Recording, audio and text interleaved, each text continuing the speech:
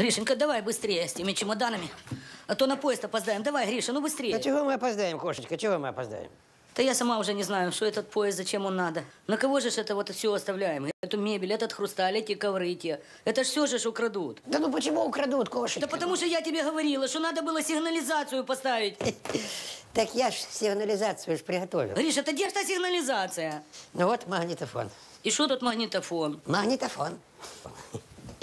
Вот тут у нас идет проводок.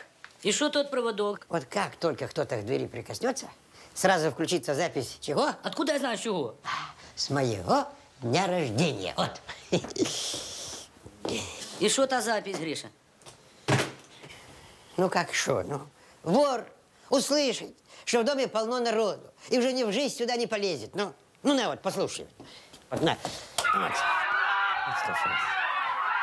А? Слушай, ну тогда все напились от страшного, Гриша.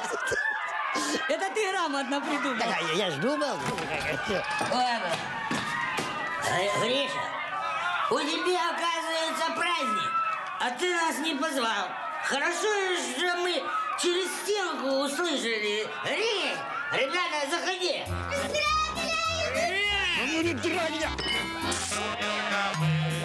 Да пошел ты вон,